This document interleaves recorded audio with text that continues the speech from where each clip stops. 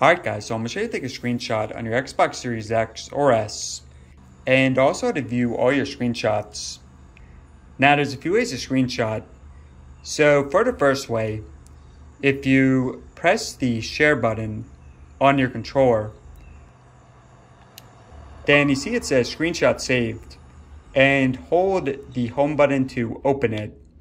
So there's a screenshot. Just gonna press A. Alright, so I'll show you guys how to view all the screenshots and also some other ways to screenshot.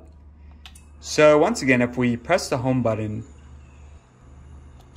so from here you can press Y your controller.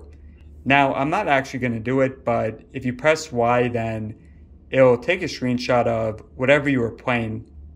Now if you keep pressing the right bumper to get to capture and share, we can also press here to capture a screenshot. Oh, and that notification is that the screenshot was uploaded to the Xbox network.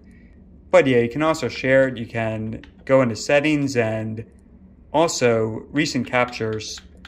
So here are all the screenshots on the Xbox. And yeah guys, all there is to it. So hopefully this helped out.